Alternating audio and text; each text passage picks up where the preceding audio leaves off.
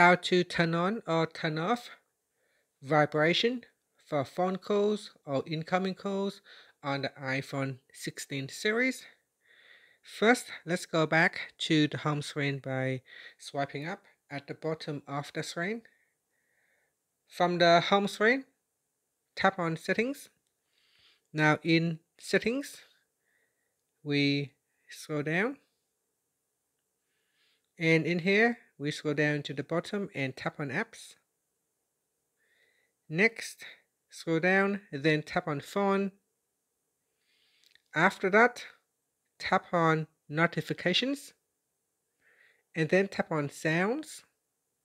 Now you want to go to the top of the list and then tap on haptics. In here, if you want to turn off vibration for your incoming calls or phone calls, tap on none. So you select none that will uh, turn off haptics or vibration. If you want to turn on uh, or turn back on the vibration, you can select accent, alert, heartbeat, or one of the uh, pattern in here. Otherwise, you can choose a new vibration pattern or you can choose the default uh, synchronize uh, vibration. And that's it. So that is how you can turn, uh, turn on or turn off uh, vibration for phone calls on the iPhone 16 series. Thank you for watching this video. Please like and subscribe to my channel for more videos.